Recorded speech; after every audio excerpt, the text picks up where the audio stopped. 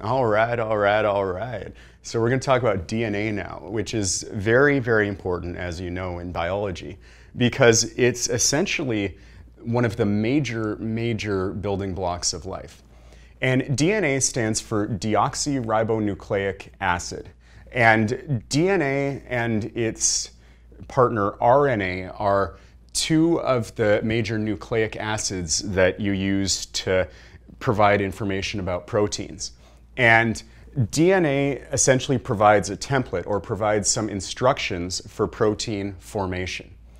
And the nucleic acid is the polymer that's composed of different nucleotide monomers. And a nucleotide versus a nucleoside is something we'll be discussing. But a nucleotide essentially has three different components.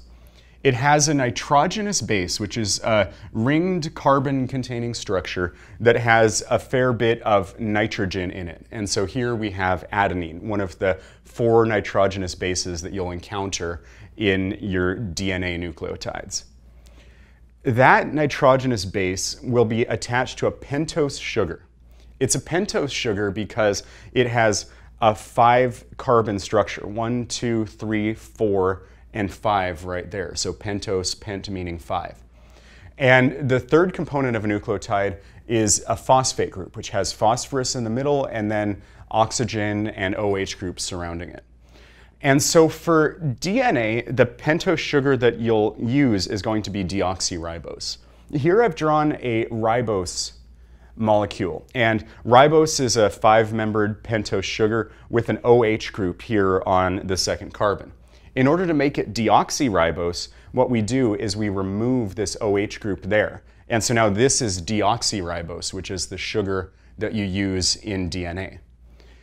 The way that these nucleotides are formed is through a series of condensation reactions. You may know condensation reactions as dehydration reactions as well. Essentially what happens is you have an OH group here and a hydrogen there, and these two groups are joined, and in the process, water is released. Similarly, with the nucleotide, you'll have an OH group here and a hydrogen from there, or you could say that it's the OH from the phosphate and the hydrogen from the ribose or deoxyribose sugar.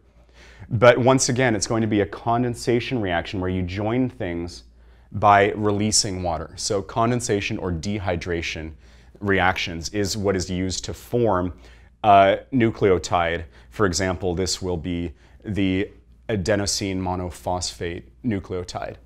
And ultimately, a nucleotide has three components, the nitrogenous base, the pentose sugar, and the phosphate group. All three of these are bound. Later on, We'll discuss the three end and the five end of these, and that essentially refers to the, the carbon three in the sugar and carbon five in the sugar. So when you're looking at one nucleotide, the direction toward carbon 5 is considered the 5 terminus or the 5 end, or it could be called 5 prime end. And 3 prime will be in the other direction toward this 3 terminus. And so a nucleotide essentially consists of these three components. You may also encounter the term nucleoside. A nucleoside is the nitrogenous base with the pentose sugar, but no phosphate group. So nucleosides do not have a phosphate, nucleotides do. The way that I think is good to remember this is you think of a nucleoside as having a nitrogenous base and a second component. A nucleotide is the nitrogenous base and it has a second and third component. So something that has a third component is a nucleotide. Third and tide both have T's in them. And uh, something with only the nitrogenous base and a second component is the nucleoside. Second and side. And so that's a good way to think of it. A nucleotide has a first, second, and third component, where a nucleoside only has a first and second component.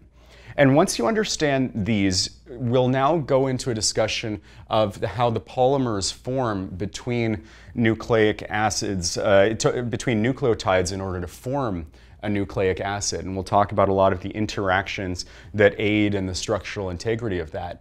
And then we'll get on to how DNA replicates and this central dogma of DNA turning into RNA and encoding a protein. All of these use the DNA molecule as a template, and so now we'll get to that discussion.